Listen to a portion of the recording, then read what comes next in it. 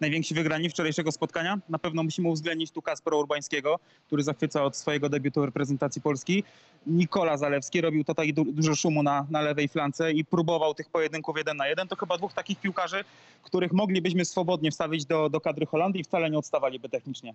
Tak, no ja bym e, Kaspara Ur- Urbańskiego dał na tutaj pierwszym miejscu i może Bóg, Buksika, bo wykonał kawał ciężkiej roboty. No wchodzisz w buty Roberta Lewandowskiego, Wie, wie, wiemy jakie były oczekiwania.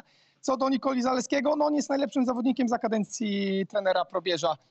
Leciutki kamyczek do ogródka, że w me, bodajże wczoraj oglądałem tą sytuację. 60 minuta sparring z reprezentacją Turcji, taki sam, takie same podanie w poprzek tam mieliśmy szczęście. Wczoraj niestety tego szczęścia nie mieliśmy i od takiego zawodnika wymagałbym, że jak po prostu ma piłkę na 20 metrze i ma linię, to po prostu wybijasz tą lagę po linii, po prostu wtedy koledzy z obrony wychodzą i, i jest y, po prostu czysta sytuacja, nie tracimy bramki. A tak to zrobił przerzut. Ktoś powie, że tam Kasper Urbański był spóźniony. On nie był spóźniony, bo się nie spodziewał takich czarów od Nikoli.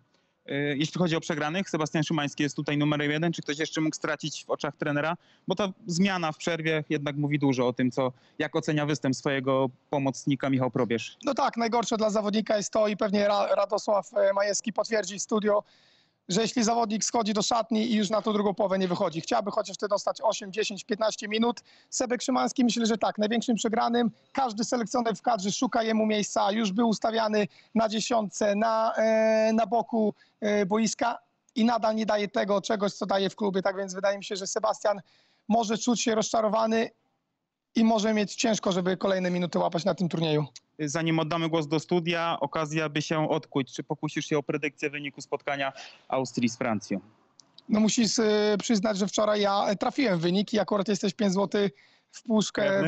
Brawo. I Wojtek też.